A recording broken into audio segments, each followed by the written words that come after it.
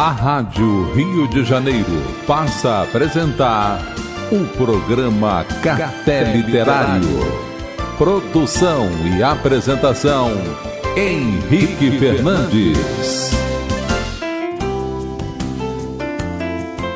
Uma conhecida instrutora de meditação nos Estados Unidos, Sharon Salzberg, escreveu na sua obra A Força da Bondade que este tipo de preocupação compulsiva com eu, mim, meu, não é o mesmo que amar a nós mesmos.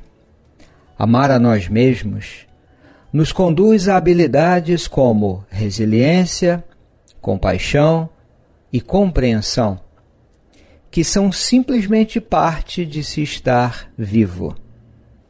Amigo ouvinte, inicia o programa Café Literário pelas ondas fraternas da Rádio Rio de Janeiro.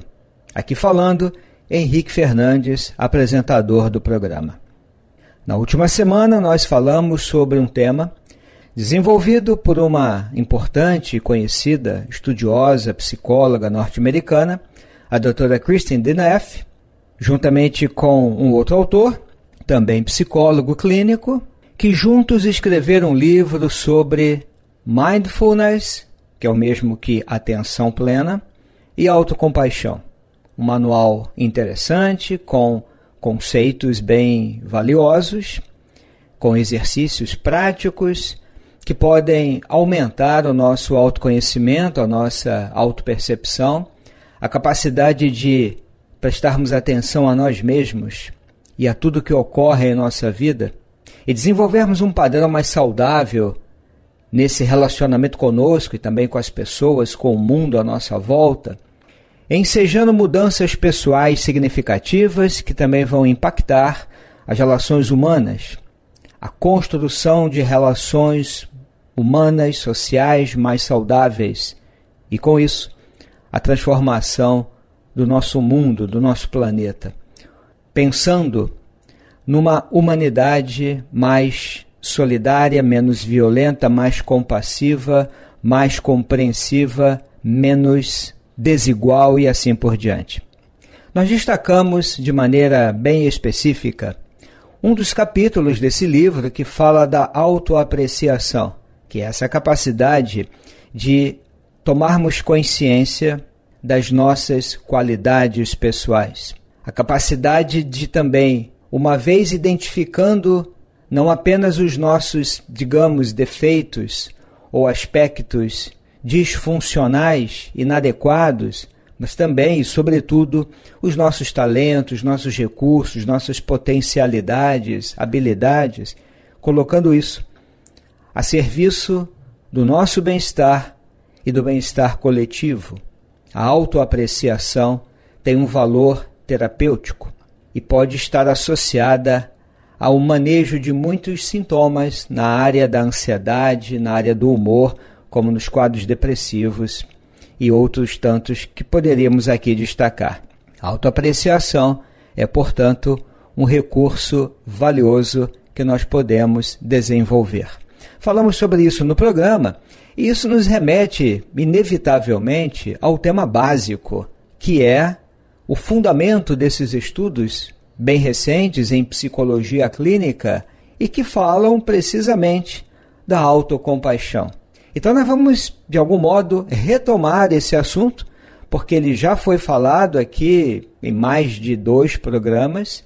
Naturalmente, que vamos mais uma vez retomar os estudos da doutora Kristen Deneff, que sem dúvida não é a única estudiosa desse tema, eu repito, na área da psicologia clínica, mas talvez seja uma das mais importantes pelos seus estudos, pelas suas pesquisas e observações clínicas, é de fato uma autora que tem se destacado. E eu compartilho com você, querido amigo que nos ouve, uma obra, uma outra obra dela, que se chama Autocompaixão. Pare de se torturar e deixe a insegurança para trás. É o subtítulo. E nós começamos o programa lendo essa frase em epígrafe no capítulo 1, Descobrindo a Autocompaixão. É uma reflexão dessa importante instrutora de meditação, Sharon Salzberg. Este tipo de preocupação compulsiva com eu, meu, mim, não é o mesmo que amar a nós mesmos. E ela diz: Amar a nós mesmos nos conduz a habilidades como resiliência, compaixão e compreensão, que são simplesmente parte de se estar vivo. É uma reflexão belíssima e muito importante na compreensão desse tema, a autocompaixão. Falar da autocompaixão é falar de um tema, amigo ouvinte, dos mais importantes. A autora vai abordar esse tema sob vários aspectos. A doutora Kristen Neff, ela tem uma série de artigos que falam dos seus estudos, das suas pesquisas na academia, na universidade, nos Estados Unidos, aliás, em parcerias com vários pesquisadores de outros lugares do mundo, onde então ela fundamenta a sua teoria a respeito da autocompaixão. Ela parte do princípio que nós, habitualmente, somos muito rígidos conosco, somos muito severos e somos dominados por pensamentos autocríticos muito severos. Ela consegue mostrar nos seus estudos que quanto maior a capacidade autocompassiva de uma pessoa, maior o seu grau de bem-estar, sobretudo em situações onde essa pessoa comete erros, onde essa pessoa tomou decisões na vida que não foram as melhores. E abordar esse tema se torna muito importante porque nós vivemos numa sociedade altamente competitiva, em que ninguém gosta de se perceber mediano, todo mundo quer ocupar altos cargos, todo mundo quer ser top do top, digamos assim, e lidar com fracasso, lidar com medo, lidar com a insegurança.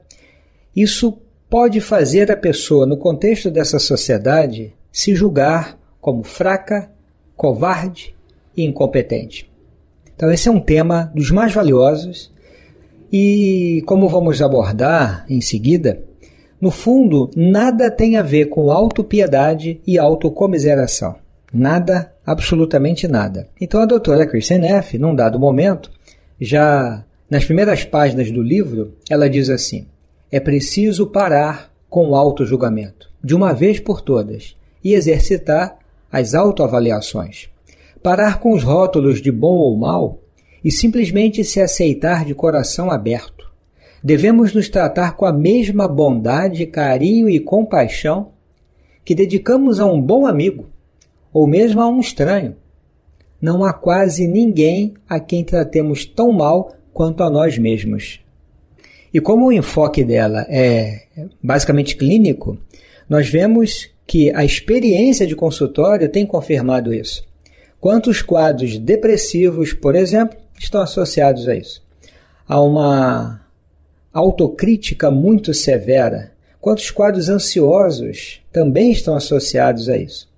Desse modo, amigo ouvinte, ao longo de 13 capítulos, ela vai abordar inúmeras questões vinculadas ao tema da autocompaixão. Como, por exemplo, na parte 1, ela responde a uma pergunta: por que autocompaixão. E aí então ela vai falar de descobrindo a autocompaixão. E no capítulo 2, acabando com a loucura. Na parte 2 do livro, os principais componentes da autocompaixão, que nós também vamos falar daqui a pouco, ela então vai falar do tripé, digamos assim, da ação autocompassiva, que é, primeiro, que é o capítulo 3, Ser gentil consigo mesmo. Capítulo 4, Estamos juntos nessa. Capítulo 5, Estar plenamente atento ao que é. E na parte 3 da obra, ela aborda então os benefícios da autocompaixão. Ela vai falar de um tema altamente atual, que é a resiliência emocional. No capítulo 7, ela fala saindo do jogo da autoestima motivação e crescimento pessoal, a autocompaixão em relação aos outros, compaixão pelos outros, pais autocompassivos, capítulo 11, amor e sexo, e depois, concluindo a obra, a alegria da autocompaixão. A borboleta emerge, autoapreciação. E é interessante que ao longo das páginas do livro ela apresenta inúmeras vivências. São pequenos exercícios que todos nós podemos fazer para aplicarmos esses conceitos importantes da autocompaixão. Ela nos ensina que, da mesma forma que nós podemos dedicar compaixão ao outro, o que tem sido exaltado pelas espiritualidades em todos os tempos, nós também podemos e merecemos dedicar essa mesma compaixão para nós mesmos. Porque eu não posso tratar o outro com educação, com aceitação, com gentileza, com empatia, com consideração, em relação a mim mesmo, tratar-me de outro modo, de uma forma autocrítica, severa demais, rígida, condenando, desaprovando e assim por diante. Vale a pena, então, querido ouvinte, conhecer essa obra da doutora, da psicóloga norte-americana, doutora Christine Neff. A obra se chama Autocompaixão, pela editora Lúcida Letra. Vale a pena comprar, ler, meditar, praticar os exercícios sugeridos por ela. A doutora Kirsten Neff nos faz compreender que a autocompaixão está associada ao bem-estar. Não tem absolutamente nenhuma relação com autopiedade e autocomiseração. Normalmente as pessoas temem um pouco esse assunto, a autocompaixão, porque elas se preocupam com o seguinte: digamos que numa determinada situação eu tenha me equivocado, tenha cometido um erro e aí me envergonho disso, posso fazer culpa. Entrar em autocompaixão, muitas vezes nós acreditamos que isso vai despertar assim uma certa preguiça, uma certa conivência com o nosso próprio erro, de tal modo que a gente vai ficar acomodado no erro, quem sabe até justificando o erro. Isso não é autocompaixão, isso é outro processo. Na autopiedade, eu tenho pena de mim. Pena de si próprio é só um processo neurótico, é um processo que expressa a minha imaturidade emocional. Autocomiseração não é muito diferente. Agora, autocompaixão é um outro conceito. E a gente precisa corrigir isso, porque hoje, no campo da psicologia clínica, a literatura norte-americana, a literatura portuguesa, eu me refiro a muitos trabalhos em Portugal mesmo, tem utilizado essa expressão, a autocompaixão, como um recurso de resiliência, de recuperação de traumas, a autocompaixão reduzindo a ansiedade, a depressão, o estresse, traços neuróticos que nós temos, o processo de ruminação, vergonha e, ao mesmo tempo, autocompaixão associada ao aumento de satisfação com a vida, autonomia, autoconfiança sabedoria, felicidade, otimismo. Nós falamos de ruminação, esse é um tema importante, porque quando nós temos a nossa mente dominada por uma autocrítica muito severa, diante de um erro, diante de um equívoco, por exemplo, vem a culpa ou arrependimento, e a pessoa começa a ruminar aquilo, coisas do tipo: eu não deveria ter feito isso, afinal de contas, eu já sabia qual era o caminho certo, eu tenho uma religião, eu tenho valores espirituais que dão sentido à minha vida. Por que, que eu fui capaz de fazer isso? Como assim? Então, a ruminação é esse processo. Ruminar é isso mesmo. É, os animais ruminam alimentos, nós ruminamos ideias. É aquilo que fica na mente da pessoa e adere à, à atividade mental e eu fico dominado, subjugado por esse processo mental. A autocompaixão ela tem a capacidade de romper esse circuito de sofrimento mental e emocional que a ruminação promove. Não só a ruminação, mas a vergonha e outros tantos processos. Um grande monge budista e psicólogo clínico, Jack Cornfield, um dia escreveu que se a sua compaixão não inclui você próprio, então isso é incompleto. A autocompaixão tem um valor terapêutico na realidade. Quando a gente tem pena da gente mesmo, isso é um outro processo, como nós já explicamos. Então, quando as pessoas se sentem mal pelos próprios problemas, Na verdade, nós tendemos a esquecer que outros têm problemas similares ou piores e ignoramos as boas conexões que tem com os outros. Então, a pena de si acaba por enfatizar sentimentos egocêntricos e de apego ao sofrimento. Toda pessoa que cultiva esse estado mental e emocional de autopiedade, que não é autocompaixão, ela acaba por se apegar a esse egocentrismo, na verdade, é um sentimento egocêntrico e um apego ao sofrimento. Então a doutora Kirsten Neff nos ensina que a autocompaixão tem três elementos importantes. primeiro deles, autogentileza e não autojulgamento. Como assim? É muito importante que cada um de nós aprenda a desenvolver uma capacidade de carinho e compreensão com a gente mesmo. Quando a gente está no quadro de sofrimento, quando a gente erra, ou quando a gente se sente inadequado, experimenta vergonha, qualquer coisa assim, não é para a gente ignorar a dor e ao mesmo tempo também não dar muita importância à autocrítica. Então a gentileza, a autogentileza, que é diferente do autojulgamento, faz com que eu aprenda a me tratar com mais cuidado, com mais compreensão, em vez de julgamento áspero. É me acalmar e me reconfortar ativamente. Esse é o primeiro ponto: autogentileza versus autojulgamento. O segundo componente da autocompaixão é a nossa humanidade comum versus isolamento. Como assim? É preciso que cada um de nós veja a própria experiência como parte da experiência humana maior, não isolada, anormal. Isso que eu sinto, isso que você está vivendo hoje, não é incomum.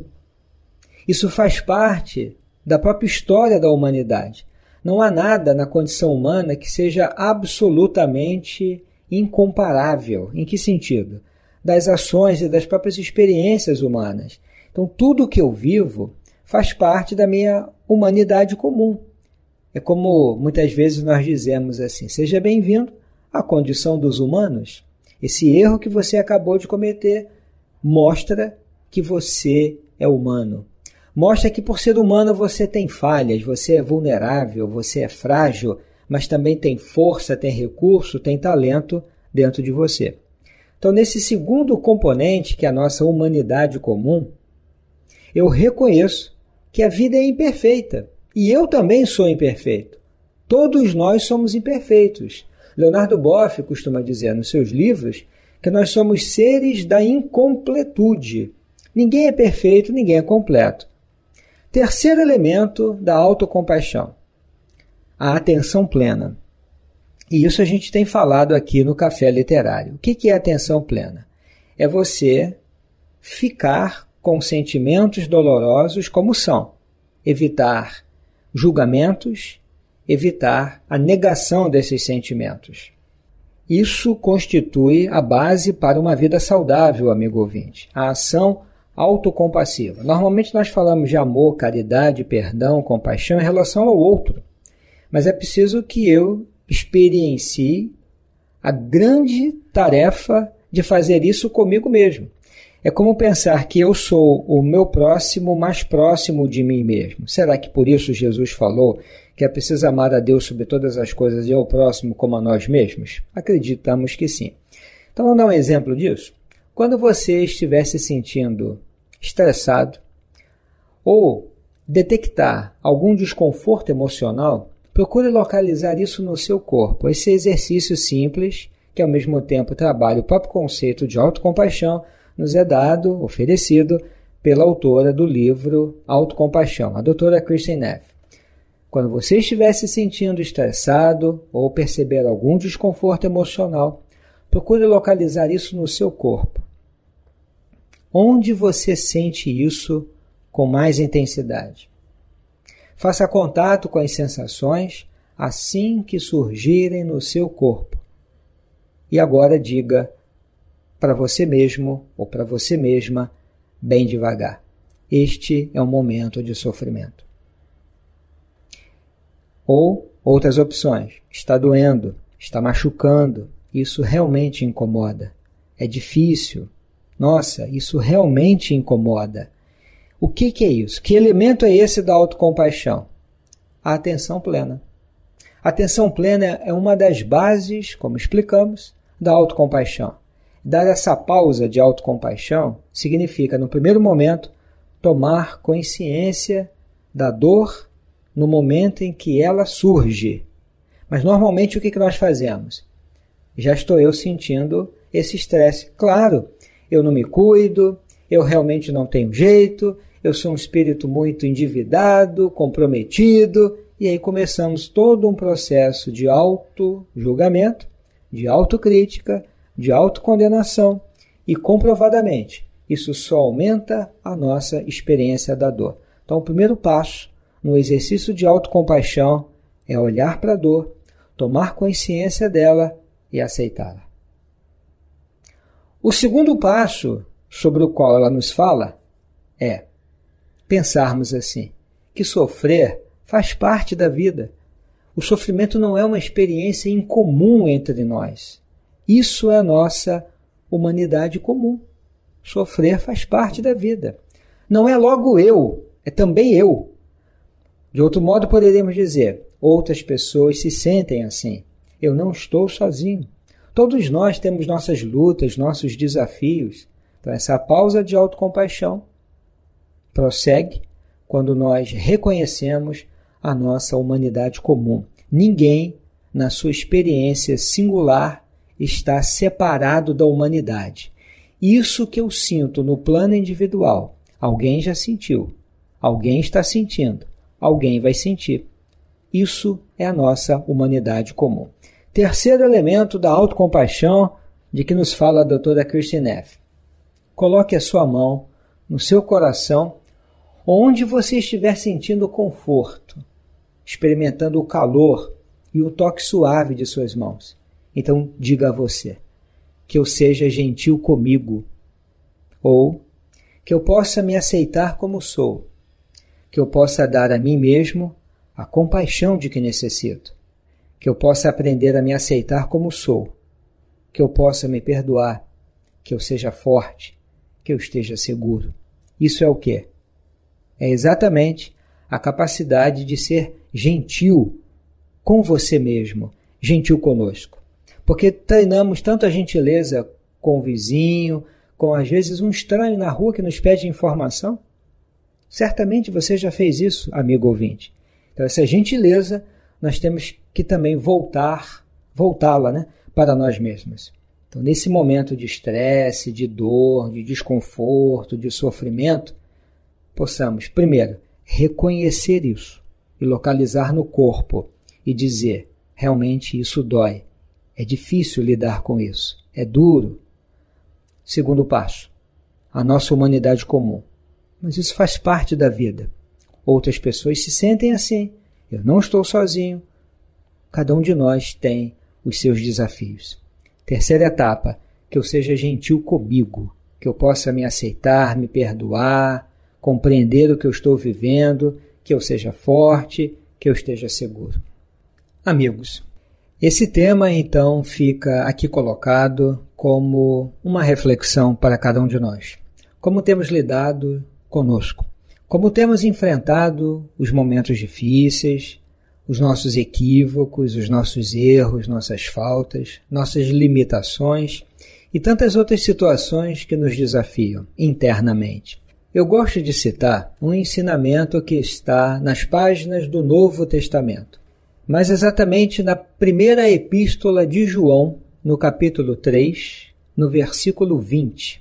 É de uma beleza muito grande, aliás, como o texto de João, cheio de carinho, cheio de acolhimento, cheio de afeto.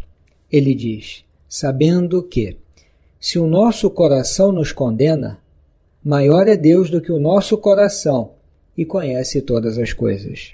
Amigo ouvinte, qualquer proposta de espiritualidade tem que estar baseada nisso. Se o nosso coração nos condena e nos condena pelo medo, pelo arrependimento, pelo remorso, e tantos outros quadros emocionais que nos congelam a própria vida. Quando nós vivemos isso, é o momento de nós lembrarmos, no contexto espiritual, que Deus é maior do que tudo isso, é maior do que o nosso coração, é maior do que a nossa culpa. Coração aqui vai englobar todos os processos e fenômenos emocionais. Deus, que é maior do que o nosso coração, conhece todas as coisas e não nos condena. Por isso, nós podemos desenvolver ações mais autocompassivas para darmos mais qualidade à nossa vida. Amigo ouvinte, aqui nos despedimos, encerramos o nosso programa, desejando a você muita paz. Até breve. A Rádio Rio de Janeiro apresentou o programa Café Literário. Produção e apresentação Henrique Fernandes.